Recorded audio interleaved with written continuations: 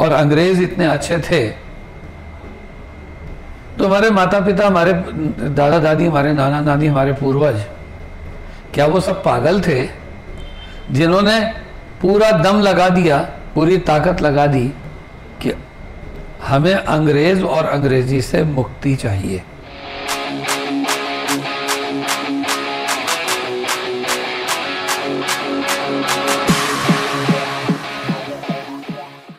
निज भाषा उन्नत है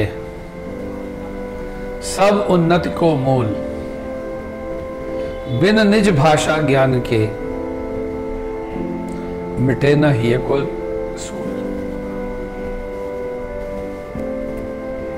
श्रोताओं दर्शकों विचारशील मानव जाति में उन्नति प्रगति और विकास करने वाले सभी प्राणीजन हम सभी एक और भाग रहे हैं और वो है क्या अगर हमें अंग्रेजी आती है तो हम पढ़े लिखे और नहीं आती तो हम अनपढ़ हैं क्या ऐसा सोचना ऐसा समझना ऐसा मान लेना उचित है बिल्कुल भी नहीं मित्रों हमारे देश में हमारे माता पिता हमारे अड़ोसी पड़ोसी हमारे संबंधित लोग क्या मानते हैं कि बच्चा इंग्लिश स्कूल में पढ़ रहा है इसलिए वो ज़्यादा समझदार है ज़्यादा बुद्धिमान है ज़्यादा विवेकशील है ज़्यादा इंटेलिजेंट है ज़्यादा इंडस्ट्रियस है मुझे ऐसा लगता है कि ऐसे बच्चे ज़्यादातर ओवर कॉन्फिडेंट होते हैं आज मैंने एक समूह में विद्यार्थियों से छात्रों से या शिष्यों से कही है एक बात बोली कि मैं आप में से प्रत्येक से फीस लेना बंद कर दूंगा यदि आप हिंदी वर्णमाला में यह भी बता दें कि कितने अक्षर होते हैं सच मानिए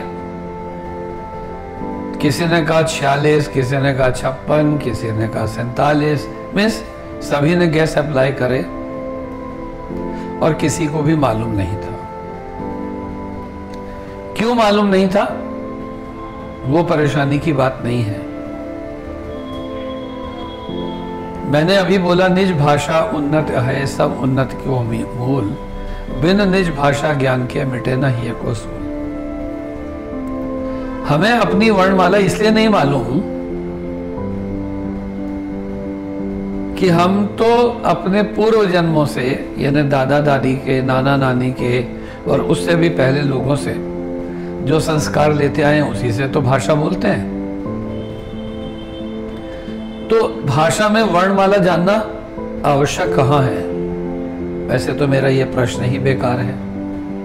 लेकिन किसी को क्रमबद्ध तरीके से अ आ, इ, इ, उ, उ, ए, ऐ, ओ औ न मालूम हो हरस्व और दीर्घ बेशक न मालूम हो यानी जल्दी बोले जाने वाला और धीमे बोले जाने वाला ऐसी चीजें ना मालूम हो कोई बात नहीं लेकिन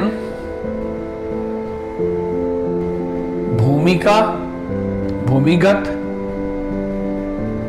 शब्द लिखने पड़े तो वो भी हम लिख नहीं पाते छात्र लिखते हैं तो छात्र हो जाता है ऐसी त्रुटियां हम जो करते रहते हैं उसका कारण क्या है कि हम उतना भी ध्यान नहीं देते हैं कि जितना इसलिए देना चाहिए कि उसका अर्थ बदल जाता है जैसे मैंने छात्र और छत्र का अंतर बताया काम और कम का अंतर देख लीजिए आ लगा दो तो काम हो गया और नहीं लग छूट गया तो कम हो गया लेकिन अंग्रेजी के बारे में सभी लोग कहेंगे सर 26 लेटर्स होते हैं अब उनसे कहो पी के बाद कौन सा अक्षर आता है तो वो क्यू को कहेंगे क्यों क्यू यानी क्यू शब्द नहीं बोल पाते एक्स नहीं बोल पाते हालांकि सभी नहीं बोल पाते क्या बहुत सारे अक्षर हैं जैसे आय अंग्रेजी के अक्षरों में भी हम ठीक नहीं बोल पाते और हिंदी में तो खैर बोलते ही नहीं सुनने के बावजूद देखने के बावजूद हम इतने लापरवाह क्यों होते हैं ये बात आसानी से समझ में नहीं आती बट मैं यहां आज इस लेक्चर के माध्यम से ये माता पिता से अनुरोध करना चाहता हूं कि वो अपने बच्चों को कहानियां सुनाएं, कविताएं सुनाएं, चुटकुले सुनाएं और उनसे कहें कि ऐसा ही वो लोग भी करें तो इससे केवल वाक पटु वाक पटुता ही नहीं बढ़ेगी रेडी विटनेस ही नहीं आएगी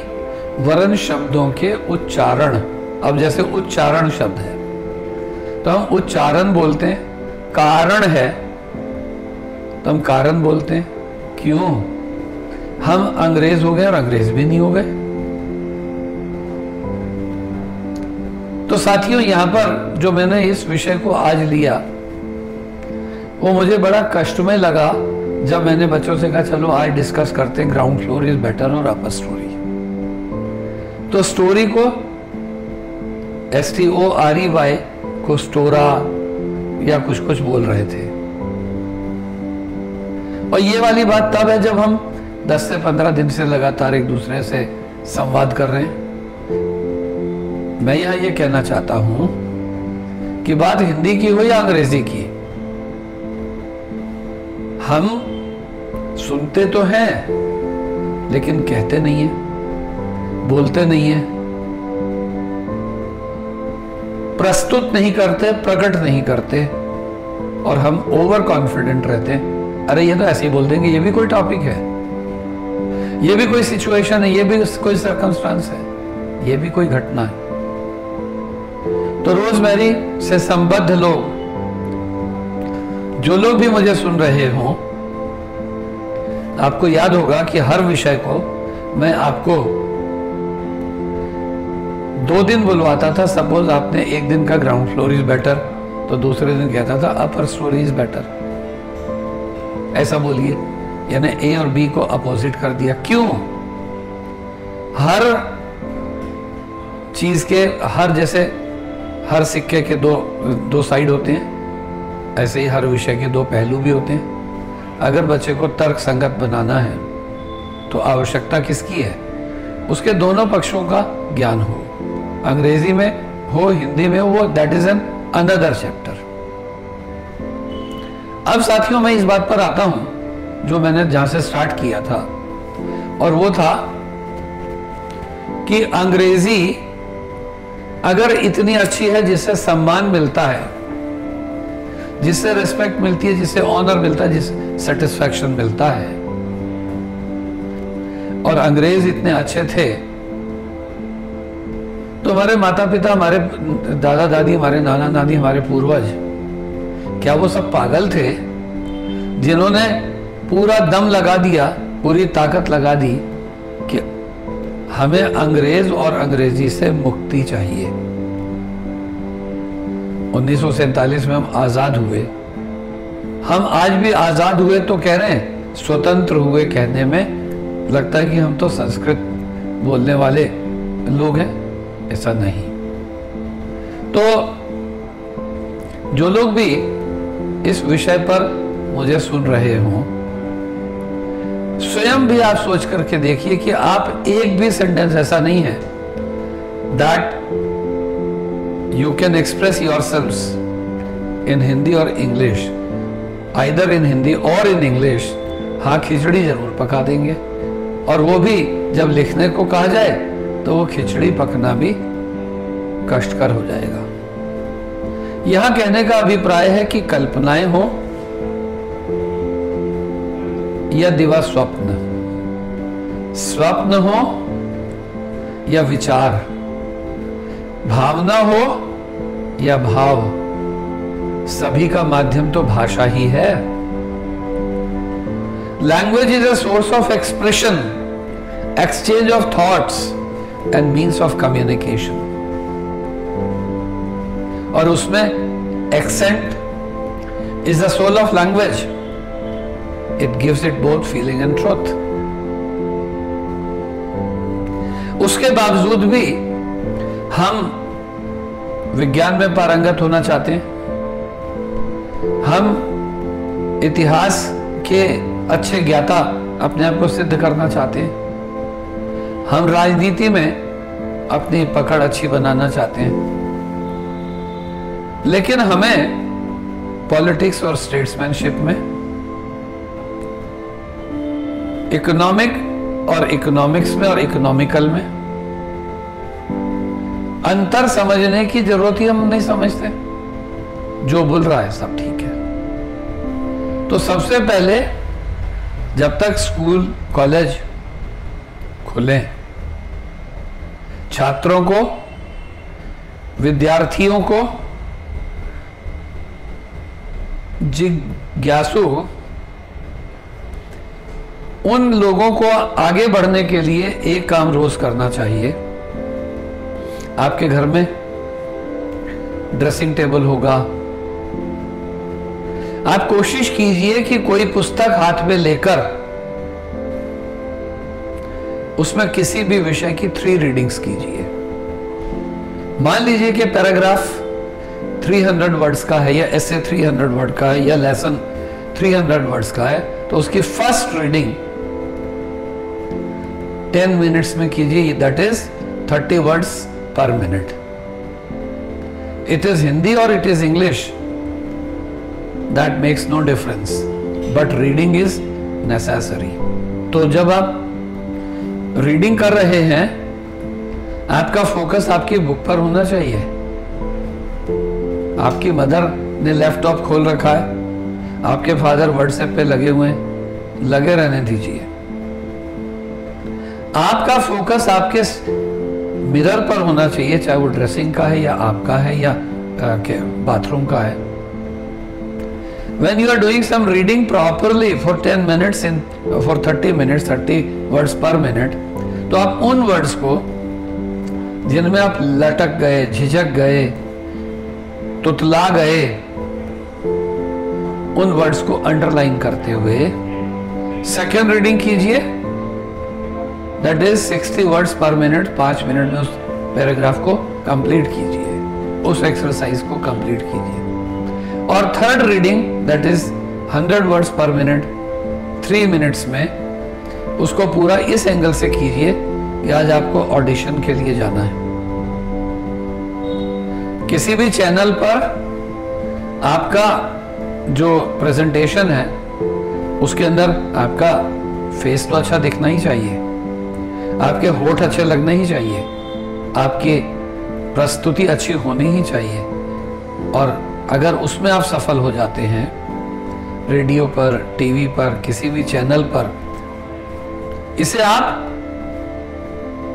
प्रखर बनाने के लिए अच्छा बनाने के लिए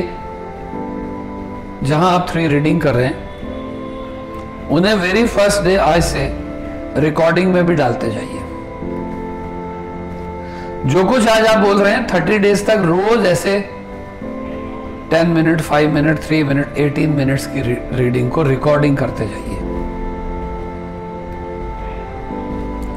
और 30 डेज के बाद फर्स्ट डे की रिकॉर्डिंग को सुनिए और लास्ट डे की सुनिए तो आप में इतना कॉन्फिडेंस आ जाएगा बल्ले बल्ले आपको जैसे मजे आ जाएंगे तो बच्चों साथियों आप वृद्ध हैं या युवा age is just the number लेकिन यह समस्या सभी के साथ है सभी को अभ्यास प्रयत्न और प्रयास करना चाहिए इससे लैंग्वेज में डीओ डू होगा तो जियो आपके मन में जो आ रहा है वह आप बोलेंगे नहीं आप गो बोल जाएंगे बीयूटी बट है और आपके मन में पीयूटी भी आ रहा है तो आप पुठी बोलेंगे और नहीं बोलेंगे जो मैं नहीं बोलना चाहता डी डी से डू से जीओ के लिए या टी से बट की जगह टी को but this all does not need rules जैसे आप नर्सरी से ट्वेल्थ तक grammar grammar grammar pronunciation phonetics किस किस एंगल से पढ़ते रहते हैं लेकिन वो परीक्षा पास करने के लिए इसलिए यदि आप चाहते हो कि आपके जो उच्चारण अच्छे हों तो पहले अगर हिंदी में अच्छे हैं तो अंग्रेजी में होंगे अन्यथा नहीं सो रीडिंग और concentrated reading makes a person an exact person and loud reading slow a bit fast and faster reading makes a person confirmed so conference that is discussion talking chatting speaking debating makes a person ready person and if you are writing if you are revising it makes a perfect person तो आप स्वयं भी और अपने बच्चों को भी day one से रीडिंग हैबिट डालिए और हर दिन नया चैप्टर नया थॉट लेकर के चलिए आपके बच्चों में भी और आप में भी कॉन्फिडेंस आएगा बोल्डनेस आएगी और कॉन्फिडेंस और बोल्डनेस आने पर दुनिया में आपको रिस्पेक्ट मिलेगी सो so, Today I wanted to let you know what is the role of language in one's personality. That is all for today. Thank you everybody.